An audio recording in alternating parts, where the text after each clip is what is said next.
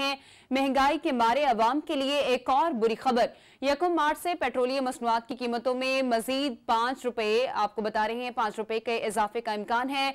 यकम मार्च से पेट्रोल की कीमत एक सौ पैंसठ रुपए फ़ी लीटर तक पहुँच सकती है।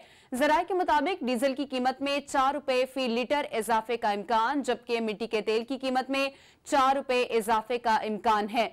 लाइट डीजल की कीमत में तीन रुपए इजाफे का इम्कान। पेट्रोलियम मसनुआत की कीमतों से मुतालिक हतमी फैसला वज़ीर आज़म करेंगे। आपको अपडेट कर रहे हैं, महँगाई के मारे आवाम के लिए एक और बुरी खबर।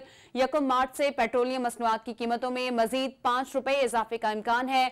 यकम मार्च से पेट्रोल की कीमत एक सौ पैंसठ रुपए फ़ी लीटर तक पहुँच सकती है। डीजल की कीमत में चार रुपए फ़ी लीटर इजाफे का इम्कान है, जबकि मिट्टी के तेल की कीमत में चार रुपए इजाफे का इम्कान है। लाइट डीजल की कीमत में तीन रुपए इजाफे का इम्कान है। पेट्रोलियम मसनुआत की कीमतों में हतमी फैसला वज़ीर आज़म करेंगे। अमरीन अली ने हमें ज्वाइन किया है। जी अमरीन, अपडेट कीजिए इस बारे में।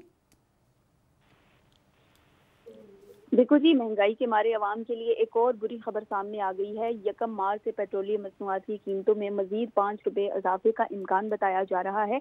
बताया गया है कि यकम मार्च से पेट्रोलियम मसनूआत के नरखों में इजाफे से पेट्रोल की कीमत एक सौ पैंसठ रुपए फ़ी लीटर तक पहुँच सकती है। डीजल की कीमत में चार रुपए फ़ी लीटर इजाफे का इम्कान है, जिसके बाद डीजल एक सौ अट्ठावन रुपए फ़ी लीटर से तजावज कर जाएगा, जबकि मट्टी के तेल की कीमत में चार रुपए और लाइट डीजल की कीमत में तीन रुपए इजाफे का खदशा है। पेट्रोलियम मसनूआत मसनूआत की कीमत से मुतलिक हतमी फैसला वज़ीर अजम की जानब से किया जाएगा। जी।